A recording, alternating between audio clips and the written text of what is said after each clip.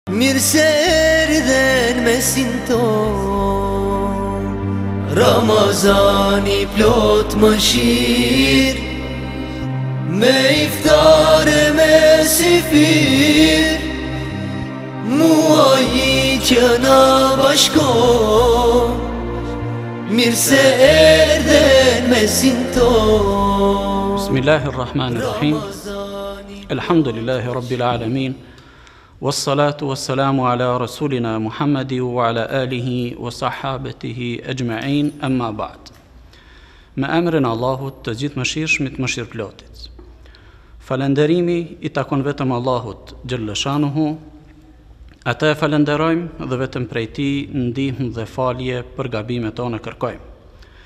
Salavatet, selamet tona qofshin për të dërguarin e fundit, Muhammedin alayhi salatu wa salam, për familjen e tij të pastërt e të ndershme, për shokët e tij besnikë e të sinqertë, si dhe për të gjithë ata që ndjekin rrugën e tyre, iu përmbahen udhëzimit të tyre deri në ditën e fundit të kësaj jete. Të nderuar vëllezër dhe motra besimtare, E lusim Allahun e Madhërishëm që agjërimin dhe veprat e mira të kësaj dite të bekuar, të këtij muaji të Ramazanit na i pranojë të gjithëve. Të nderuar vëllezër dhe motra besimtare, njeriu si krijesë e Allahut të Madhërishëm është i krijuar i tillë që t'i dojë të tjerët. T'i dojë njerëzit e mirësjellshëm, t'i dojë vepërmirët, t'i dojë ata të cilët ndoshta janë gjendur ndonjëherë në ndonjë vështirësi. Përtej kësaj, njeriu është i krijuar ta e dojë familjen e tij, bashkëshorten dhe fëmijët e tij. Njeriu është i krijuar i tillë t'i dojë edhe prindërit e tij, ku përmes shërbimit të tyre dhe bindjes e respektimit të tyre arrin kënaqësinë e tyre dhe njëkohësisht arrin edhe kënaqësinë e Allahut të Madhërishëm. Mirëpo, përtej kësaj ka një dashuri tjetër që është më fisnike, më madhore dhe më e lartë se kjo. Ajo është dashuria e Allahut të lartësuar. Dashuria për krijuesin dhe furnizuesin e tij. Mirëpo ka një dashuri tjetër që është më fisnike, më madhore dhe më e lartë se kjo. Si ashtu, dikush mund thotë, ka dashuri më fisnike dhe më madhore sesa njeriu ta e dojë Allahun e lartësuar? Po të nderuar vëllezër dhe motra, ka.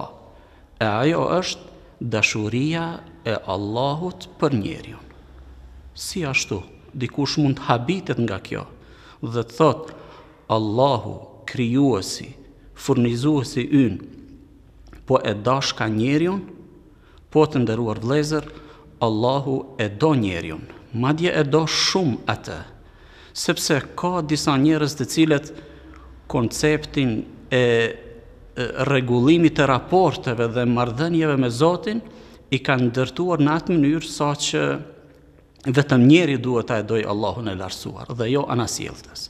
Mirëpo ky koncept është i gabuar. Allahu i lartësuar e do njeriun. Madje kemi një mori ajetesh dhe hadithesh të pejgamberit tonë Muhamedit alayhi salatu wasalam, të cilat na tregojnë se Allahu e do shumë njeriun. Në shumë ligjërata fetare dhe në libra fetarë lexojmë e dëgjojmë për dashurinë që njeriu duhet ta ndjejë karshi Zotit, për sakrificat e njerëzve të shumtë, mirëpo ne në këtë temë do të flasim për të kundërtën e kësaj, për dashurinë e Allahut të Lartësuar ndaj besimtarit, ndaj njeriut. Kjo temë është shpirtërore, për faktin se njeriu, kur e di dhe e kupton se Allahu i lartësuar e do atë, Nuk ka dyshim se zemra e tij i qetësohet, shpirti i tij rehatohet dhe ndien një kënaqësi. Për ta e bërë më të prekshme dhe më të kapshme këtë temë, pejgamberi jonë i dashuri i zemrave tona, Muhamedi alayhi salatu wassalam, na sjell një hadith të bukur. Në fakt të gjitha hadithet të, të gjitha thëniet, hadithet e tij janë të bukura, mirëpo një prej tyre është edhe ky. Ku tregon se Allahu i lartësuar e do njeriun, tregon cilat janë rezultatet, gjurmët dhe frytet e kësaj dashurie të Allahut ndaj njeriut. Muhamedi alayhi salatu wasalam na tregon dhe thotë: Kur Allahu E do një njeri e thërret Xhibrilin dhe i thotë, O Xhibril, unë e dua filanin, prandaj duaje edhe ti atë. Atëherë, edhe Xhibrili e do atë. Kur e do edhe Xhibrili, atëherë thërret tek banorët e qiellit dhe u thotë, Vërtet Allahu e do atë një, një, këtë njeri, prandaj duajeni edhe ju. Atëherë edhe banorët e qiellit e duan atë. Dhe pastaj i vendoset, instalohet një pranueshmëri, një dashuri e këtij njeriu edhe në sipërfaqen e tokës. Edhe njerëzit e duan atë.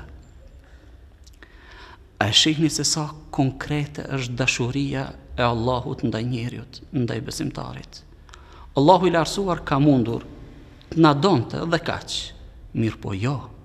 Allahu i lartësuar po e deklaron këtë dashuri që ka për besimtarin edhe para krijesave të tij më të fisme. Para Xhibrilit dhe para krijesave dhe para melekëve dhe engjëjve të tjerë dhe kjo tregon se Allahu i Lartësuar e do këtë njeri shumë.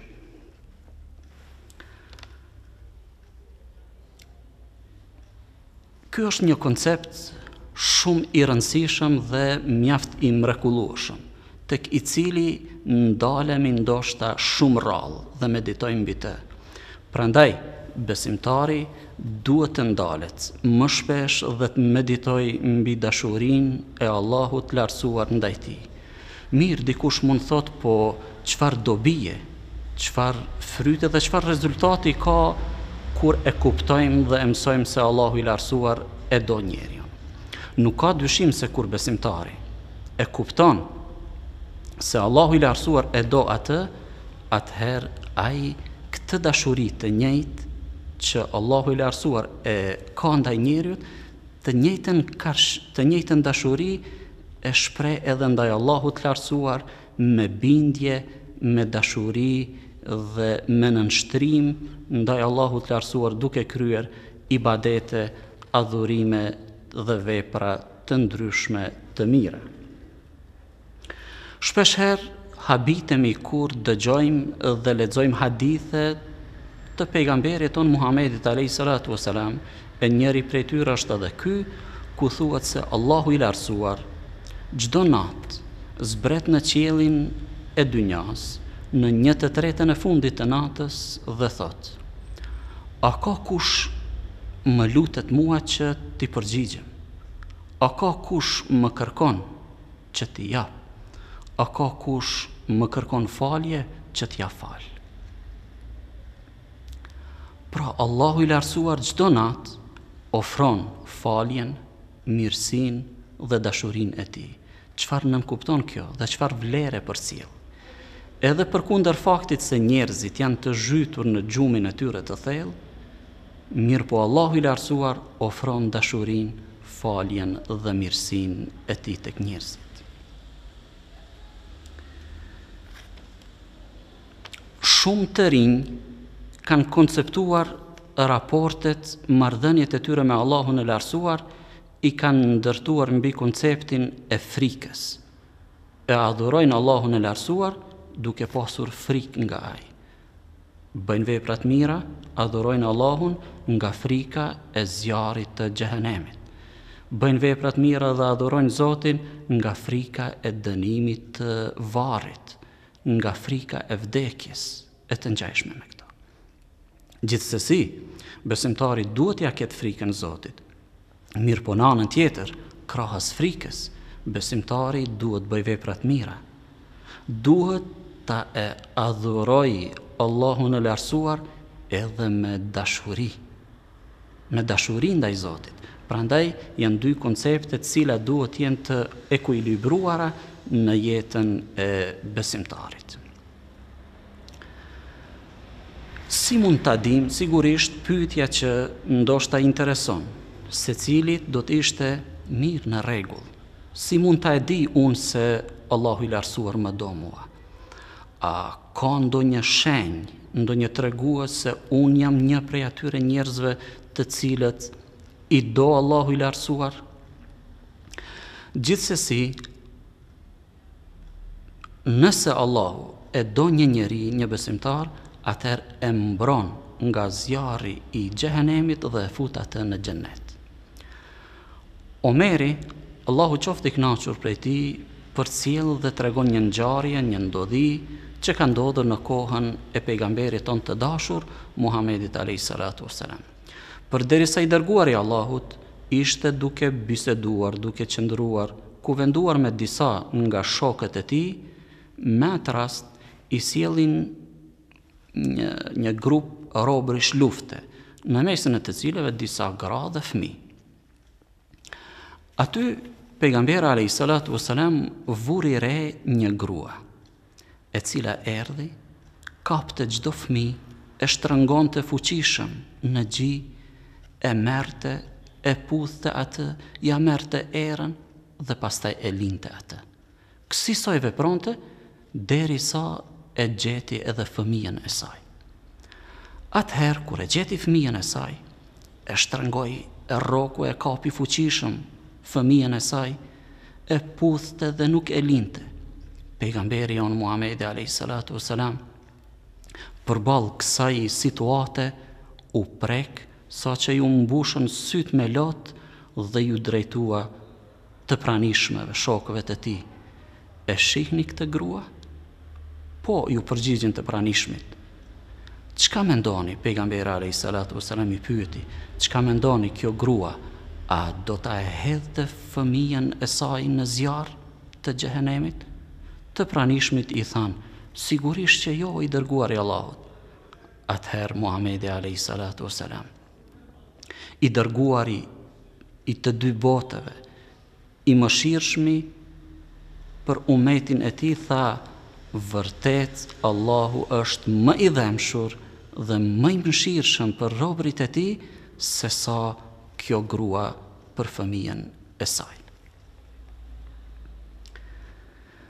Dijetarët islam thonë nuk është e çuditshme që robi të kërkojë miqësinë dhe dashurinë e zotërisë së vet, mirëpo e habitshme dhe e çuditshme është atëherë kur zotëria vetë kërkon të miqësohet me robin e tij. Apo nuk është e çuditshme kur dhe habitshme kur një punëtor, kërkon miqësinë apo bën disa veprime për të fituar simpatinë dhe dashurinë e shefit të tij. Mirëpo e habitshme është atëherë kur shefi vetë ia ofron vartësit të tij miqësinë, faljen dhe dashurinë. Andaj cilat janë shenjat apo treguesit që tregojnë se Allahu i Lartësuar e do një njeri një besimtar? Dijetarët islam duke u mbështetur në argumente, qofshin ato ajete kuranore apo edhe hadithe thënie të pejgamberit alejhis selam, kanë arritur të nxjerrin të veçojnë disa prej tyre. Andaj edhe në këto pak minuta do të mundohem shkurtimisht që t'i veçoj disa prej këtyre treguesve në mënyrë që ta e gjejmë veten në ndonjë prej tyre. Shenja e parë, tregues i parë se Allahu i lartësuar e do një njeri, është se ia fal besimin, imanin, e udhëzon në rrugën e drejtë. Abdullah ibn Mesudi, Allahu qoftë i kënaqur me të, tregon dhe thotë: Vërtet, Allahu i Lartësuar ka ndarë moralet, mirësjelljet tuaja në mesin tuaj ashtu siç ka ndarë edhe furnizimet. Allahu i Lartësuar pasurinë ia jep atij që e do dhe atij që nuk e do. Mirëpo fenë, fetarinë, besimin ia jep vetëm atij që e do. Andaj të nderuar vëllezër dhe motra, pasuria e shumtë nuk qenka tregues se Allahu i Lartësuar e do atë njeri.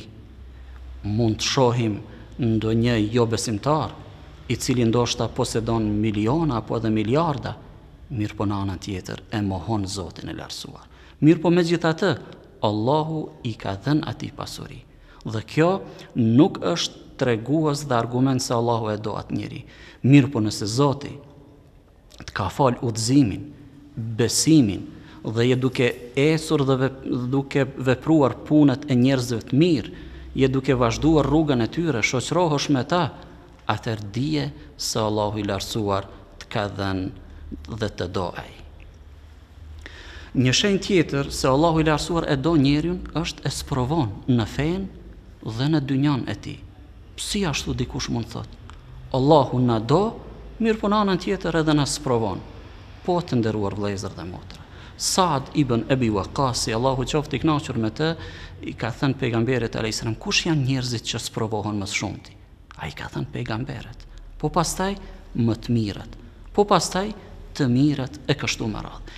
Njeriu sprovohet në bazë të fesë dhe besimit të tij. Sa më shumë të jetë i udhëzuar, atëherë dhe sprovat i ka më të rënda. Ndërsa sprovat janë në sasi të të udhëzimit të tij. Po ashtu, i dërguari i Allahut, sallallahu aleyhi wa sallam, ka thënë,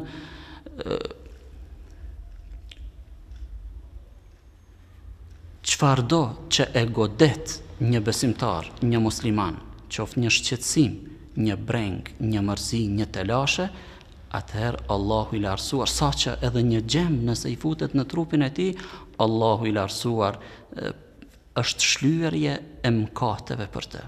Prandaj, edhe Llukman Hakimi, një prej njerëzve të ditur dhe të urtë, e ka këshilluar djalin e tij duke i thënë, O djali im, dije se ari dhe argjendi sprovohen me zjarr, ndërsa besimtari sprovohet me fatkeqësi dhe sprova.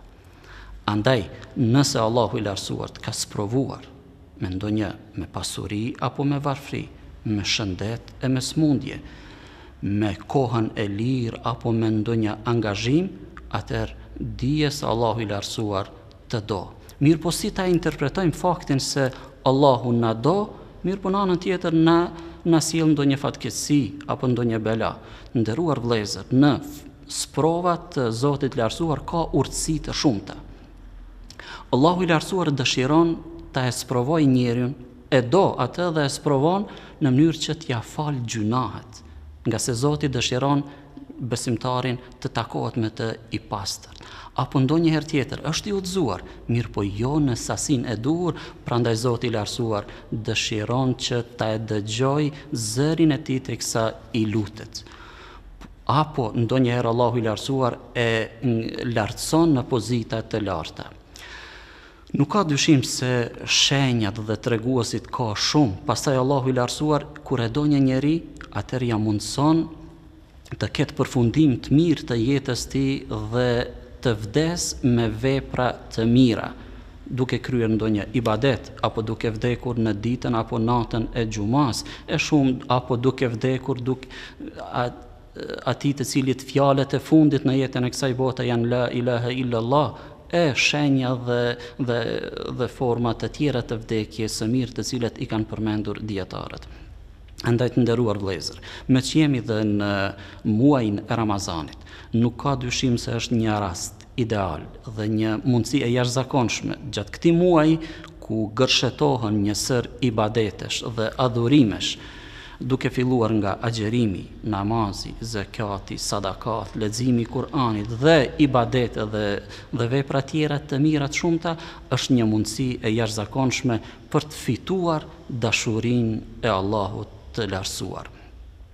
E lusim Allahun e Madhërishëm që Na bëj prej atyre njerëzve që i do Allahu i Lartësuar. Andaj o Zot, të kërkojmë dashurinë tënde, dashurinë e atyre njerëzve që duan tu ty dhe na mundëso t'i bëjmë veprat e mira o Zot të cilat na çojnë dhe na udhëzojnë kah dashuria jote. Amin